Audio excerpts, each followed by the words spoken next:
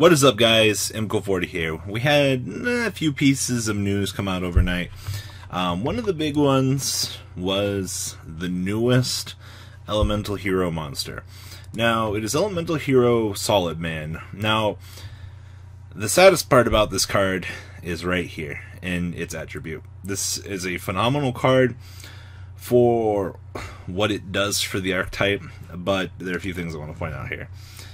First off, it's level 4 warrior, so of course you can ROTA for it. It has Elemental Hero in its name, which is extremely good. Um, first thing is, when this card is normal summon, you can special summon one level 4 or lower hero monster from your hand. Notice the very strict restriction of when this card is normal summon. They didn't want to create a paradox with the Neb and Altair where you can kind of just call the haunted, revive, continue on with your day.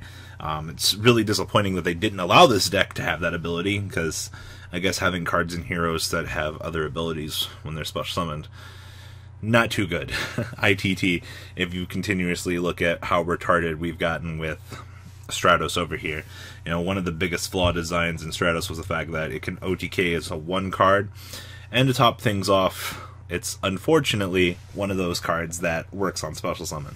And Konami has said a thousand times over that, you know, the issue with Stratos is because it works on special summon. So we can't have that. We had to restrict it to just commit a normal summon. And then if this card is sent from your monster zone to the graveyard by a spell card, you can target one hero monster in your graveyard except for Solid Man and special summon it in defense mode.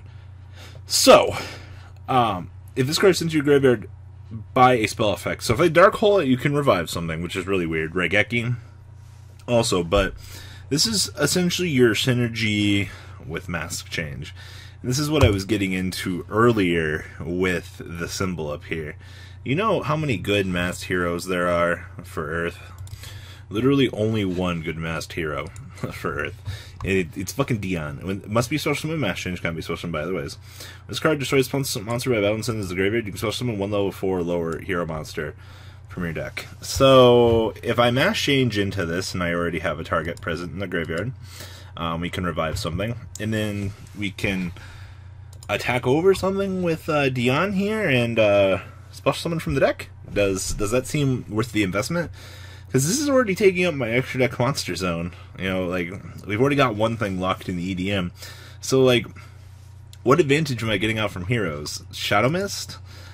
Um, searching for another mask change? Um, yeah, like, is it kind of worth it? I don't personally think so. But you know, every other masked hero, pretty much besides Goka, has another one of these.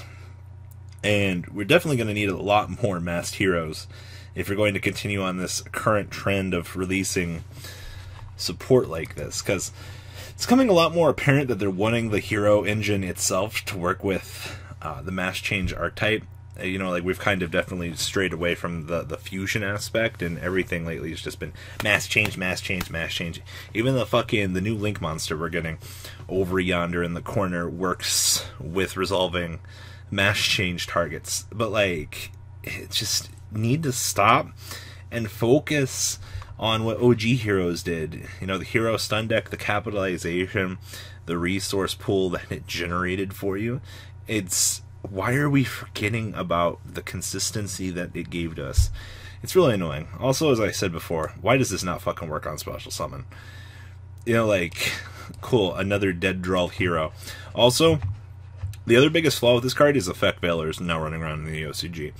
The OCG is adapted back to that mentality. So, if you're stranded on a normal summon island and you get Schvalered, well, you're stuck on this thing with no real additional resources. This thing doesn't even have the fucking ability to fucking search for mask spell cards. You know, like you need to you need to give this deck more if you're pushing it as hard as you are. But it's my two cents on that thing. Next up, the Holy Trinity. So earlier today, everyone in the TCG shit their pants because we did not get to vote on the next Shonen Jump card. So, today will go down in history as a very splendid day that we don't have to deal with Security Dragon, we don't have to deal with Summon Sorceress. There were there were a lot of fireworks today. Um, but instead, we were we weren't given that choice. But we're getting Trickstar. What the fuck? Crimson Heart is her name?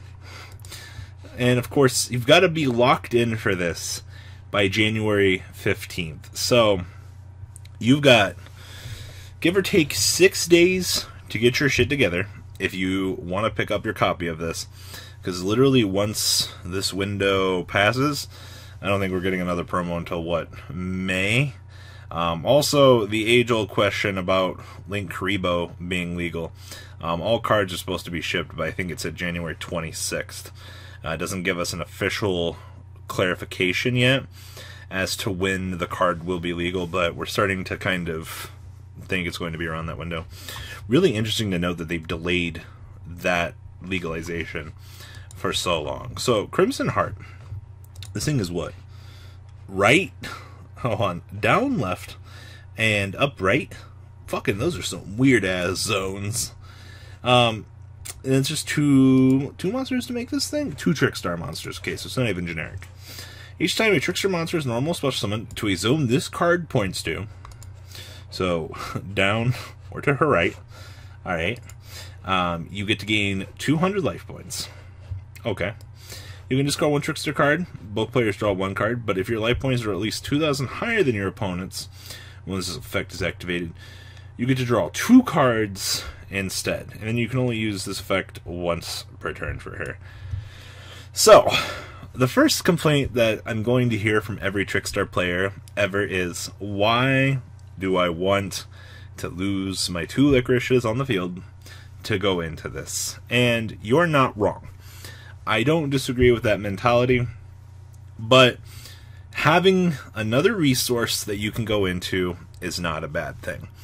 The Trickstar deck, it's been functioning as a burn deck for the longest time, but having one more resource to you, even if you're not playing, what is it, Eater of Millions, you know, you can just eat it off of your extra deck and just not really give a fuck. You know, it's not an issue to you whatsoever. But, case in point, having a ability to draw two in the form of a link monster, I mean, it's still a 2000 link 2. It might be a game finisher.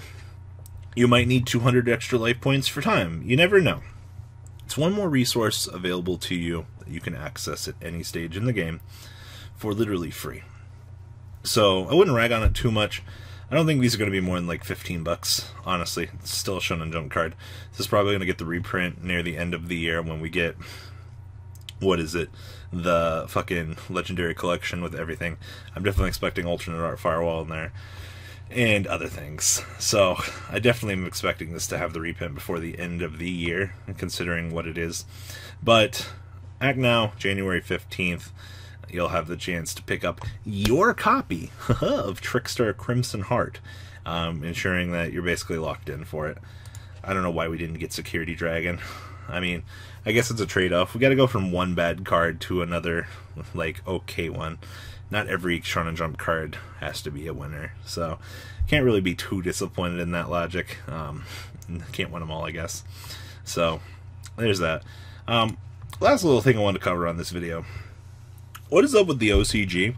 Fucking thinking that every person wants a mat with Cyverse and Playmaker on it. I'm not quite sure what this mentality has been, but they are really overdoing this playmaker thing. Like, we've already had one mat with Decode, we've had a mat with Xcode on it, and now these two join the fray with our boy Yusaku on it. I I don't know why they are pushing this so goddamn hard, but they are they are in love with this guy. This this would be something I would see for a Winamat in the TCG, which would be nice. I'm not gonna lie, but it's a different story. And then the top four playmat. I have a very strange feeling we might be seeing something like this as like our nationals top cut playmat this year. We haven't done anything with Firewall as a uh, particular card yet, or the Cyverse archetype, so I wouldn't be surprised if the North American WCQ playmat doesn't look similar to this. All kind of depends on when we get Firewall later on in the year, but the simplicity and what we know for copy and paste abilities. It's probably going to be coming later in the year. Uh, please help us. I really don't want this to be a nationals mat, but even anything to do with like this, I, I would just it'd be much happier not to have.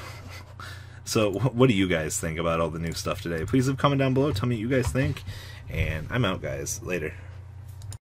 The ride never ends, guys. Make sure you enable those notifications to get the latest videos that are being posted on this channel. Make sure you guys check out VanCole40 for my Cardfight Vanguard channel. And join me and House of Champions on the Zodiac Duelist TV Twitch stream. Uh, we'll be interacting with our audiences. And please check out No Limit Gaming and LGTCG.com for the cheapest trading cards on the market. Thanks for watching, guys, and please have a good day.